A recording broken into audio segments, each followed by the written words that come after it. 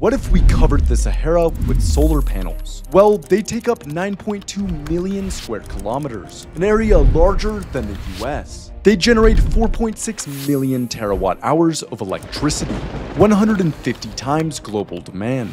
They decarbonize global energy, create millions of jobs in North Africa, and raise local temperatures, pulling in moist air from the Atlantic that would rain down, terraforming the Sahara into a green paradise. But it would cost $280 trillion and need millions of kilometers of transmission lines and billions in batteries to store energy during the night. It would also be located in a politically unstable region, require millions of robots and billions of liters of water to keep it clean, and would block dust from cooling the Atlantic Ocean and fertilizing the Amazon rainforest, leading to worse hurricanes and an ecological disaster. So,